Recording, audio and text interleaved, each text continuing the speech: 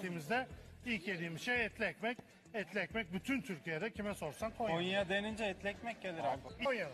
Ama sizce de bir Yanlışsan ben de çıkar. Yanlışsan ben de saçım boyatırım. Şefim şimdi biz bir iddiaya girdik. Somer şefin yanında hatta.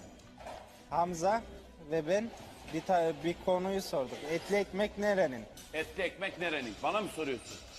Biz Hayır, ben öyle Konya değil. diyorum. Hamza nere diyor? Kastamonu. Kastamonu. etli ekmek en güzel hangi yöre yapar? Öyle Konya değil. yapar. Hadi. Onu Konya yapar da. Ah bunu tartışmanın bir anlamı yok Şimdi ya. 100 kişiye sor 100'ü de Konya der ya. Yani şöyle bunu niye tartışmanın bir anlamı yok? şefim iddia Yani ne biliyor o, musunuz? e, Kastamonu'daki veya Urfa'daki adam iyi yapamaz diye değil. Her şeyin bir yöresi var. Orada hayvan devreye girer, un devreye girer, bilmem ne devreye girer. Çok şey devreye girer. Etli ekmek Konya'nındır nokta.